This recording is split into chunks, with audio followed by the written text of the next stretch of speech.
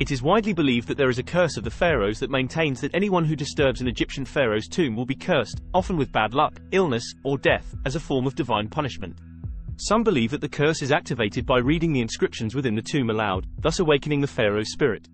It is often believed that those who experience the curse will encounter a series of misfortunes, such as financial ruin, loss of loved ones, or chronic illness.